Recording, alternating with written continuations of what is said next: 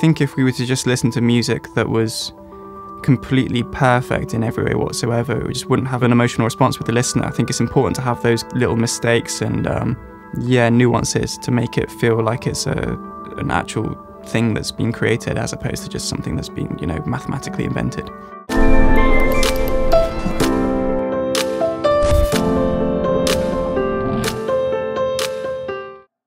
My name's Andy Maxwell, and I'm the senior runner here at Abbey Road. I think it's probably like the level of expertise you get here because people here have been doing it every day, day in, day out for years and years and years. They picked up so much kind of knowledge of uh, how to give it that extra kind of like 10% that it might need to like finish the track off.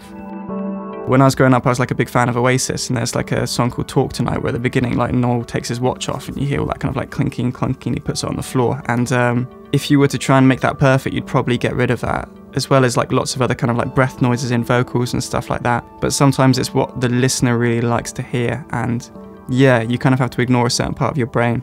But in the, in the long run, maybe it's better.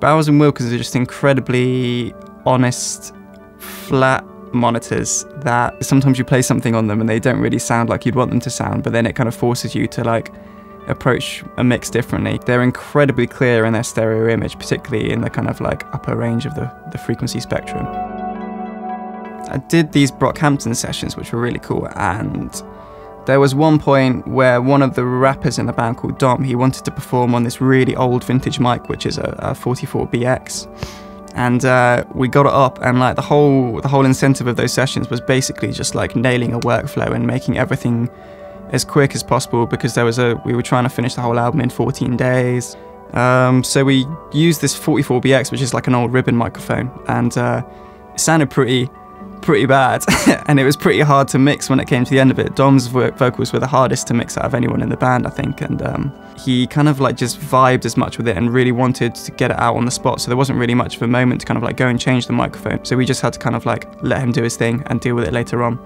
And maybe it did sound like quite interesting because it, it did. It sounded like very different to kind of like what you'd expect. But um, yeah, it was cool. It was a little vibe.